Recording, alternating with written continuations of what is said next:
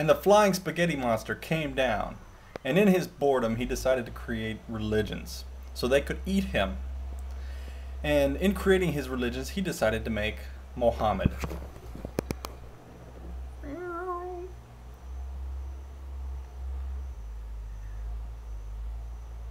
And Muhammad wanted to eat him. FSM creating the Prophet Muhammad. Blessed be his holy sauce.